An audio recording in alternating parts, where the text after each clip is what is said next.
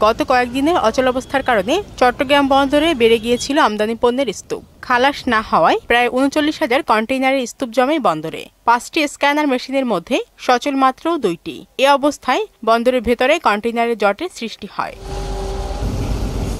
তবে ইন্টারনেট সেবা চালু হওয়ায় চট্টগ্রাম বন্দর ও কাস্টমসের কার্যক্রম স্বাভাবিক হয়ে আসছে বলে জানালেন সংশ্লিষ্টরা। বিগত কয়েকদিন যাবৎ ইন্টারনেট সচল হওয়ার কারণে এটা অনেকাংশে এখন নেই।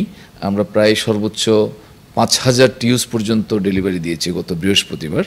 এরপর থেকে আমাদের ডেলিভারিটা মোটামুটি ফ্লোটা ঠিক আছে। বন্দর থেকে পণ্য ডেলিভারিও বেড়েছে বলে জানান সিএনএফ এজেন্টস অ্যাসোসিয়েশনের সভাপতি। চেম্বারের প্রেসিডেন্টও জানালেন পরিস্থিতি এখন দ্রুত স্বাভাবিক হয়ে আসছে। যে সমস্ত পণ্য এর মধ্যে চলে আসছে এই ক্রাইসিসের কারণে বন্দর থেকে ডেলিভারি কম সংখ্যক হয়েছে।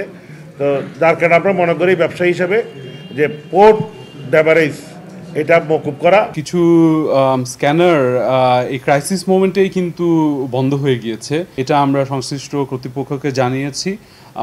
এ- এটা কীভাবে এটা আবার দ্রুত গতিতে চালু করা যায়। সুদবিহীন ব্যাংকিংয়ে আত্মশুদ্ধির পথ এনআরবিসি ব্যাংকের ইসলামিক ব্যাংকিং।